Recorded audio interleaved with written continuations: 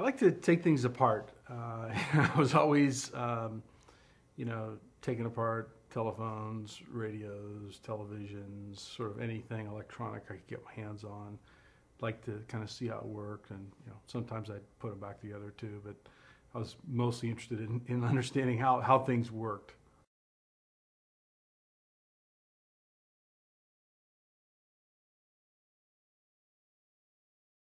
Yeah, I you know wanted to see how it worked, so I, I took it apart. And uh, good thing about the early personal computers is that they had completely kind of standardized chips, and so you could literally get a book about each chip and read what each you know pin did and how signals were processed through the chip, and you could design your own circuits and you could modify them and you could you know literally see exactly how the thing was working. And you know that that was sort of the the classroom for me. That was that was where I learned you know the the, the basics of how how these things work. And then it kind of became fascinated with well how could you improve it? How could you make it do more things? How could you expand it? How could you make it go faster? How could you you know hook it up to other computers and you know sort of let your imagination run wild When I was in uh, the seventh grade, I was in a, in a an advanced math class, and in my math teacher's classroom at the junior high school I went to, they got the first uh, teletype terminal at the school. And this was, of course, before personal computers, and basically you could like write a program and send it off to a big mainframe. The answer would come back, and I became kind of, you know, fascinated with this idea of a computing machine. I thought that was pretty cool. so, so I would sort of program the, this, this, uh, this teletype terminal and, you know, sort of learned all I could about computers.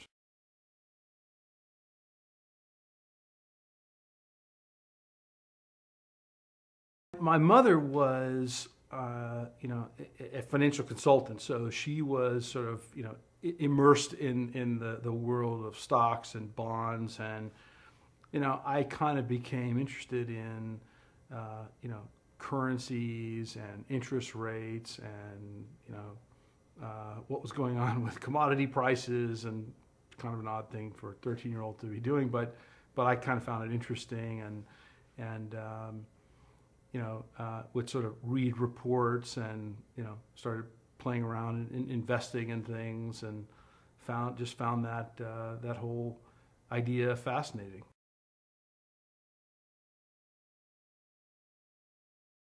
When I was 16, I, I got this job working for a newspaper in Houston.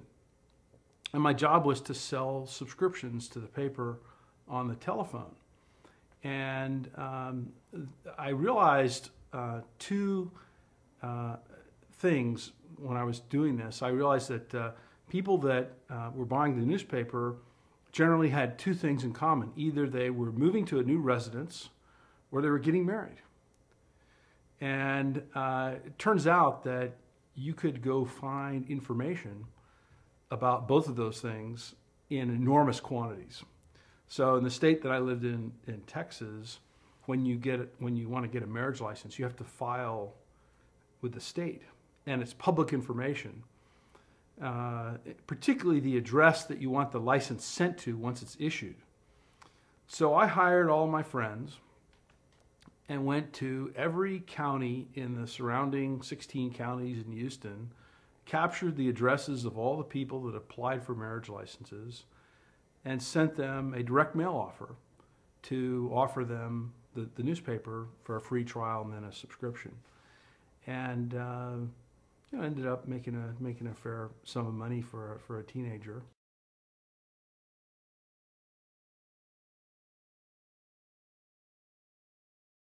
This is way back in the beginning of the industry when personal computers didn't even have hard disk drives.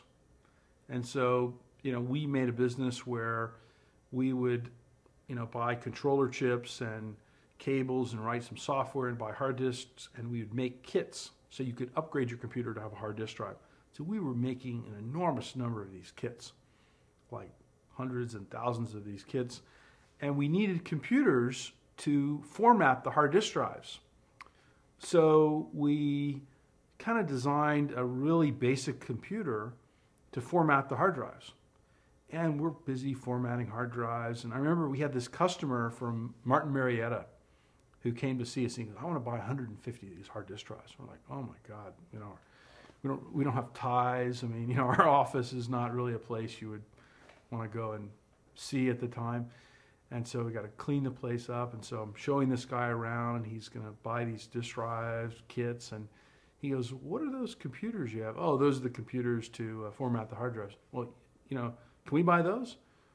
Ah, good idea. You know, we, we, we were so busy formatting these hard drives, we never we never really thought about that. So, about you know a week later, there was uh, this like Austin Computer Fair. Um, in in the downtown kind of uh, you know Coliseum type thing. And by that time, we were sort of the biggest seller of computer stuff in Austin. So we had like the biggest booth right in the center. And so we made this computer in a, in a few days and got a case and sort of brought it to the show.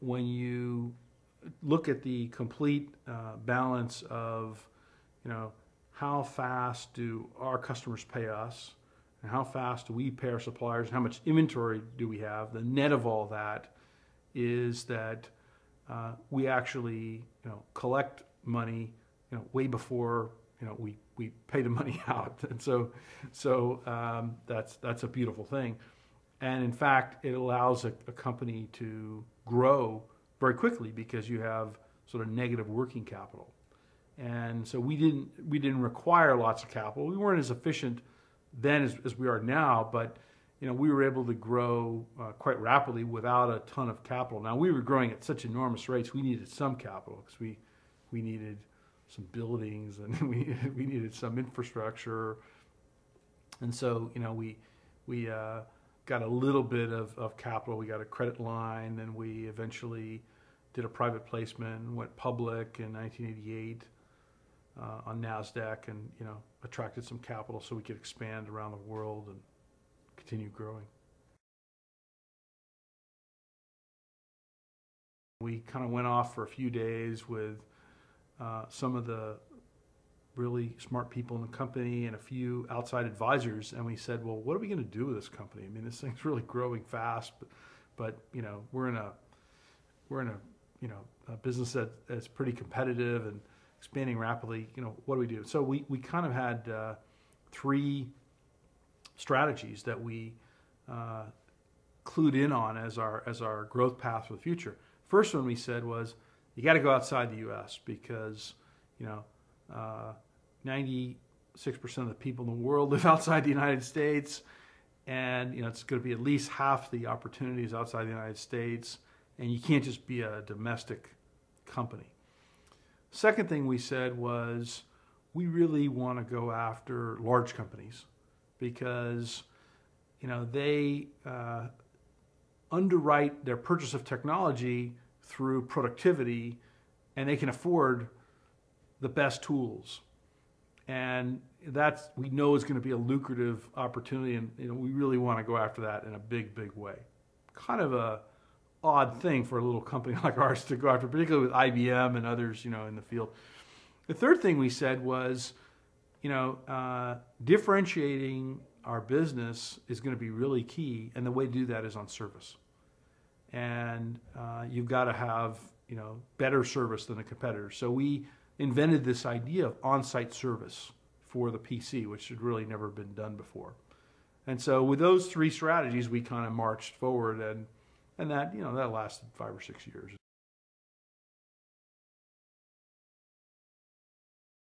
In the spring of 86, we went to the Comdex trade show, which was at the time like the biggest trade show in the industry. And we had a 12 megahertz 286 computer. And at the time, uh, the fastest computer from IBM was a 6 megahertz 286 computer. So ours was twice as fast. Uh, their computer was $39.95 and ours was $19.95. So ours was twice as fast and cost half as much. We didn't have any problem selling them. I mean, you know, Uh, there was an interesting uh, twist, though. There, there were there were two really long lines of people at our booth. There were all the people who said, you know, I'm I want to run AutoCAD or DBase, and how can I get one of these things really quickly? This is fantastic. And then there were all the press who were kind of wondering, why in the world would anyone ever need a 12 megahertz 286? You know, we already have six megahertz, and we know eight megahertz is coming. Those are plenty fast. Okay, you know, compared to today, of course, uh, you know, children's toys uh, are fast, have faster microprocessors than the machines we were selling then.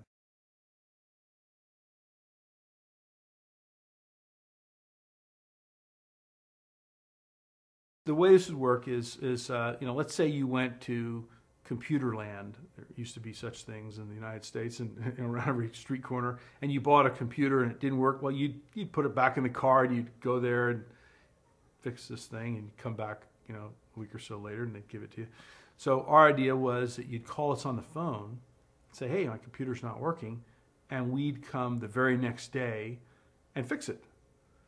And um, you know that, that, you know turns out there were all sorts of third-party uh, companies that had field service networks, companies like Xerox, for example, who had all these technicians all over the country who were kind of waiting for copiers to fail you know, and so they had this fixed capacity, and so we could buy up that that excess capacity at way less cost than we could put it in ourselves, and instantly have you know way better service. And actually, Xerox is the company we uh, we we uh, we used for quite some time in that in that.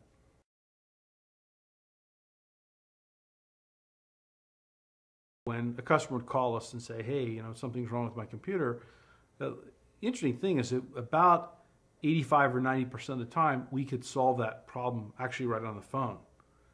So we didn't actually have to send the, the technician, but when we did, we kind of knew exactly what the problem was, you know, was, and we could very accurately sort of fix it the very next day.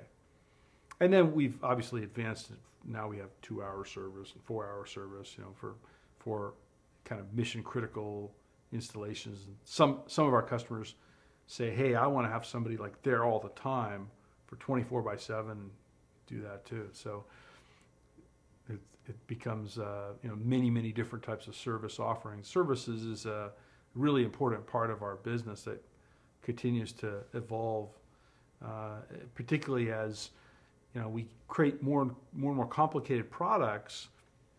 Customer isn't so much interested in all the bits and bytes and how fast is the computer and what does it do they want to know that you know this installation of a critical system that they're putting inside their business is really going to work well. So they're looking for a solution.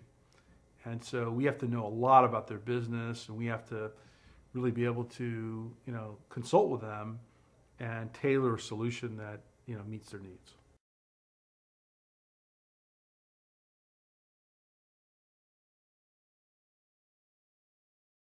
I think you have to be able to experiment and and make mistakes. Uh, and you know, I find the question a bit perplexing in the sense that you know, uh, if if you if you really don't know, you know what what what it means to be an entrepreneur, you know, maybe you aren't one. You know, so so I, I think there's a a bit of kind of self initiative uh, and self starter, you know, that that is incredibly important part of, of entrepreneurship. I mean, no one can sort of tell you how to do it. You have to sort of have an instinctual, uh, you know, feeling or an idea about about something, and you got to be passionate about it. I mean, I think people that look for great ideas to make money, uh, you know, aren't nearly as as successful as those who say, okay, what do I really love to do? What am I excited about? What do I know something about?